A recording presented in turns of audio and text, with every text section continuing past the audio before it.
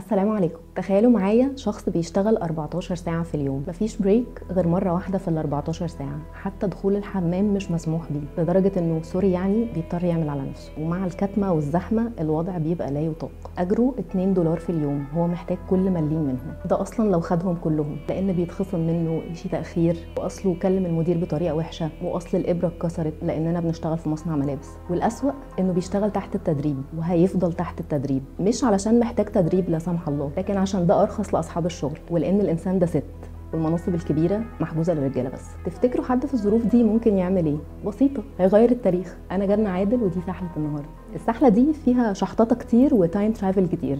فنصحصح مع بعض من أول. إحنا دلوقتي في الولايات المتحدة في بدايات القرن العشرين. الدنيا متوترة وكل شوية اضرابات ومظاهرات. مين اللي عامل القلق ده؟ عاملات مصانع الملابس. هنقف بالزمن عند يونيو 1909 بيوصل جواب لمصنع Triangle Shirtwaist واحد من أكبر مصانع الملابس اللي موجودة في نيويورك وقتها. الجواب مبعوث من أحد المتخصصين في تلافي الحرائق. وفي الجواب الراجل بيقول إن معايير الأمن والسلامة في المصنع مش مظبوطة وإنها ممكن تعرض حياة العاملات للخطر. وبيقترح طرق تخليهم يتلافوا الحرائق بشكل أحسن. الجواب ده بيتطبق وبيتشال في درج وبيتم تجاهله تماما. هنسيب الجواب ده في الدرج دلوقتي وهنرجع له كمان شوية. fast forward شهرين. إحنا دلوقتي قدام مصنع Triangle Shirtwaist للملابس. هذا الصرح الكبير اللي بيصنع قمصان حلوة بتقفيل ممتاز في الحقيقة قايم على معاناة مئات الستات. أغلب الستات دي كانوا لاجئات ومهاجرات بيشتغلوا في الظروف المزرية اللي ابتدينا بيها كلامنا في السحله دي. إهانة تمييز استغلال عبودية مقنعة. أسوأ من العبودية لأن بالاسم هي ست بتشتغل ونظريا بتاخد اجر بس الحقيقة طبعا مش كده.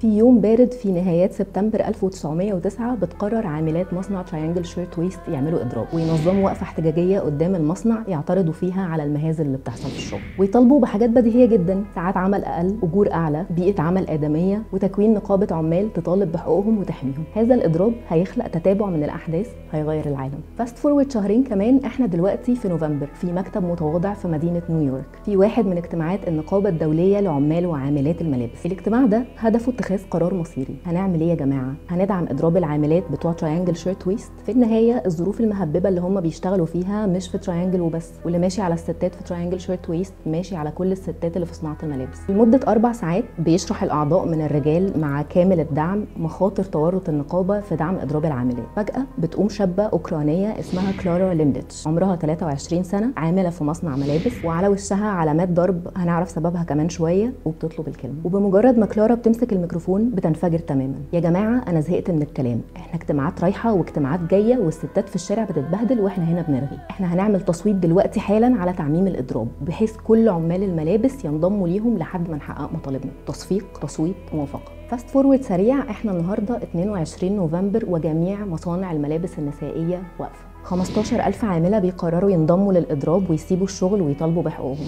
وبعدها بساعات 25 ألف عاملة كمان بينضموا لهم. لحد اللحظة دي ما كانش حد بيتعامل مع اللي بيحصل في تراينجل شيرت ويست بجدية. تجاهل إعلامي تام محدش فارق معاه حاجة. إيه يعني شوية ستات بتصيح في الشارع؟ ما يولعوا.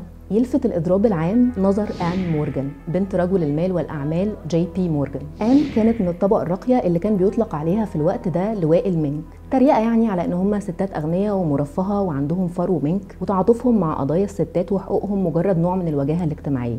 لأن هم كده كده عندهم كل حاجة لكن التفكير ده كان على وشك إنه ينتهي تماما لأن آن بتتعاطف مع العاملات وبتستغل نفوذها وعلاقاتها في تسليط الضوء على اللي بيحصل معاهم. فجأة اهتمام آن بالإضراب بيتحول لاهتمام من الميديا والناس بتعرف إيه اللي بيحصل مع العاملات. وفي ظرف 48 ساعة المصانع الصغيرة بتستجيب لطلبات العاملات والستات بترجع شغلها في ظروف أحسن فعلا. بس دور لواء المنك مش هيقف عند هنا لأن في الشارع قدام مصنع تراينجل شيرت ويست الأوضاع كانت بتزداد سوءا. إحنا دلوقتي في مكتب إدارة مصنع تراينجل شيرت ويست أصحاب المصنع ماكس بلانك وإيزاك هاريس ودول شخصين في منتهى الانحطاط كانوا في ذروه غضبهم حاسين بالإهانة يعني إيه شوية ستات تمشي كلامها علينا. فبيلجأوا لطرق في منتهى الخسة لمحاولة فض إضراب العاملات. بيأجروا عاملات دعارة علشان يندسوا في وسط الستات. الستات اللي واقفين في الإضراب ويفتعلوا معاهم مشاجرات وبيأجروا بلطجية علشان يضربوا الستات. وده يرجعني لعلامات الضرب اللي كانت على وش كلارا البنت اللي فقدت أعصابها في اجتماع النقابة. كلارا كانت بتنزل الإضرابات بتاعة عمال تراينجل شيرت ويست واتضربت واتقبض عليها 17 مرة. لأن غضب ماكس وإيزاك ما وقفش بس عند عاملات الدعارة والبلطجية.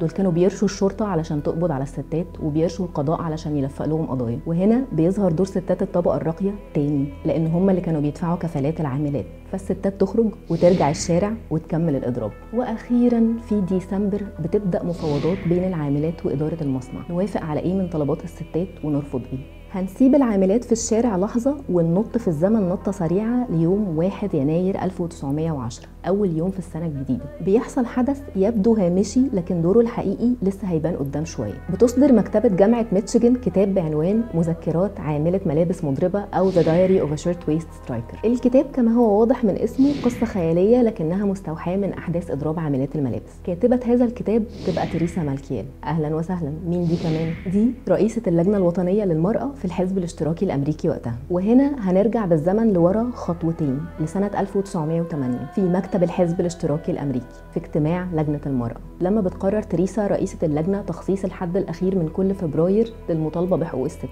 وده على خلفية مسيرات حاشدة خرجت فيها الستات في مطلع السنة ضمت أكتر من 15 ألف متظاهرة من عاملات الملابس بتطالب بحقوقها في أجور أفضل وساعات عمل أقل. مطالب العاملات ما اتحققتش وقتها لكن مجهودهم ألهم تريسا بفكرة اليوم الوطني للمرأة. الحزب رحب بالفكرة وفي السنة اللي بعدها في 28 فبراير 1909 قبل إضراب عاملات تراينجل شيرت ويست احتفل الحزب الاشتراكي الأمريكي بأول يوم وطني للمرأة. طب مال ده ومال الستات بتوع تراينجل شيرت ويست ما الصبر طيب حاضر جايلكم في الكلام. وعموما نسيب الاحتفالات والأحزاب ونرجع الشارع. إحنا دلوقتي في فبراير في عز البرد وفي وسط الاعتداءات والضرب المتكرر الستات لسه واقفة في الشارع بتطالب بحقها. بقالنا كده خمس شهور من بداية الإضراب. وأخيرا وبعد استنفاذ كل الطرق الممكنة بيقرر ماكس وإيزاك الاستجابة لبعض طلبات العاملات. هنزود الأجور وهنقلل ساعات العمل. لكن تقولوا لي بقى نقابة ونطالب بحقوقنا؟ مفيش الكلام ده. الستات بتوافق وبيرجع العمل في المصنع فعلا يوم 23 فبراير 1910 وبعدها بأيام بيحتفل الحزب الاشتراكي الأمريكي باليوم الوطني للمرأة للسنة الثانية على التوالي.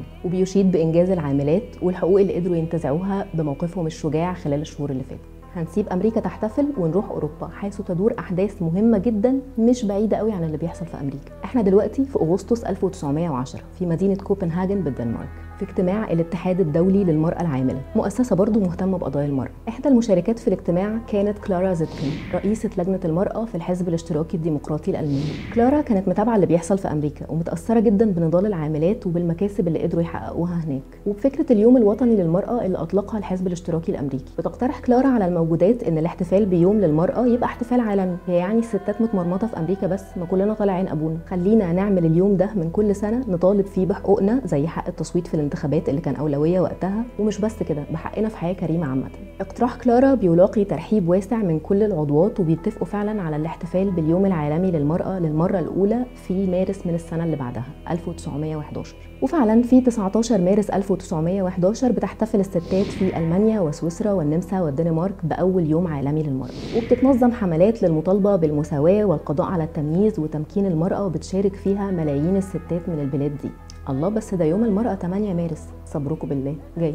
للأسف الاحتفال بيخلص من هنا وبعدها بأسبوع واحد بس بتحصل مأساة هتاخد يوم المرأة في حتة تانية خالص. إحنا النهاردة في 25 مارس 1911 رجعنا نيويورك بالسلامة قدام مصنع تراينجل شيرت ويست برضه. بيقوم حريق هايل بتفقد فيه 140 عاملة حياتهم خلال ساعتين. لأن أصحاب المصنع ما استجابوش للتنبيه اللي بعته الراجل بتاع الحرايق من سنتين واستمروا في قفل أبواب المصنع بالقفل على العاملات وهم شغالين. مش بس كده لما الحريقة قامت هربوا أصحاب المصنع والمشرفين من خلال الروف وسابوا الستات حرفيا يولعوا. 140 ست وبنت ماتوا خلال ساعتين. المأساة دي حطت اسم المصنع في دايرة الضوء وفكرت الناس بالكتاب بتاع تريسا مالكيال اللي نشرته من سنة وما كانش حد قراه. وشجعهم يقروه ويعرفوا الأهوال اللي الستات دي كانت بتتعرض لها من قبل الإضراب حتى. ومع بشاعة المصيبة وفداحة الخسائر والتغطية الإعلامية الواسعة الناس ابتدت تستوعب إن المسألة مش مسألة صياح وإن التمييز ضد الستات في الشغل ممكن في وقت من الأوقات يهدد حياتهم. السنوات اللي بعدها فضل حريق مصنع تراينجل ومأساة الستات اللي ماتت في الحريق الموضوع الأساسي ليوم المرأة في أمريكا وبره أمريكا. وده ساعد في تعديل قوانين العمل الأمريكية في الوقت ده. كمان ساعد ملايين النساء حول العالم تعرف إن المسألة تمس كل واحدة فيهم وبتمر سنتين.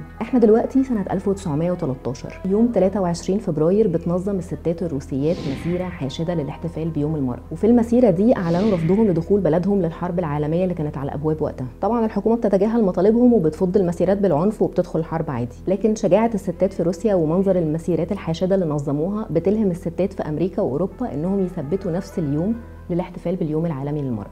أيوه بس الستات في روسيا كانوا بيحتفلوا 23 فبراير. أمال 8 مارس ده جه منين؟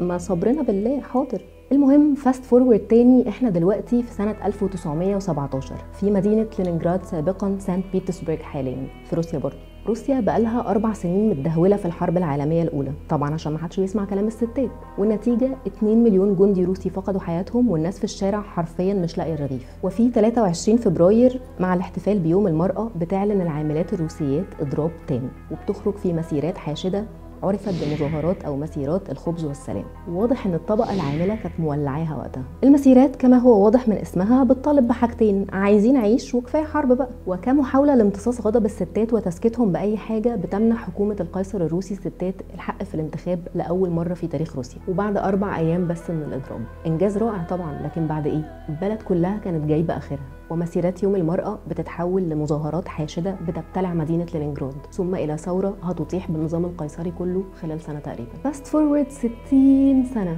سنة 1975 بتضيف الأمم المتحدة لأيامها الرسمية يوم جديد اليوم العالمي لحقوق المرأة والسلام اللي هو يوم 8 مارس. لا إله إلا الله. طب و8 مارس ده جه منين؟ مش الستات في روسيا بيولعوا الدنيا كل 23 فبراير تقريبا؟ أولا شكرا إنك مصحصح ثانيا روسيا في الوقت ده كانت ماشية بالتقويم اليولياني نسبة ليوليوس قيصر. وفي هذا التقويم يوم 23 فبراير بيعادلوا يوم 8 مارس في التقويم الجريجوري اللي العالم كله ماشي بيه واللي روسيا نفسها ماشية بيه دلوقتي. فبقى يوم 8 مارس هو يوم المرأة. كل سنة وانتي وأنا وكل الستات طيبين وبنحاول نخلق حياة أحسن لينا وللي جايين بعدنا. ومش ناسيين كل الستات اللي قبلنا اللي كافحوا علشان حياتنا إحنا تبقى أحسن. وبعد كده أي حد يسألك هو إحنا ليه بنحتفل بيوم للمرأة؟ هو ليه مفيش يوم للرجل؟ بعتيله السحلة دي. ولا أقولك شير وخلي اللي مش عارف يعرف. وللمزيد من السحلات في زرار ما. دوسي عليه.